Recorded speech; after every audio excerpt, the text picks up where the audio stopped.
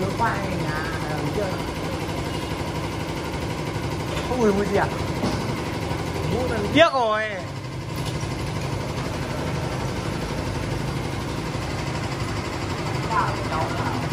Khả này tạo. Mùi mật ra thơm vức kìa ra người mùi khoai không lại cũng không.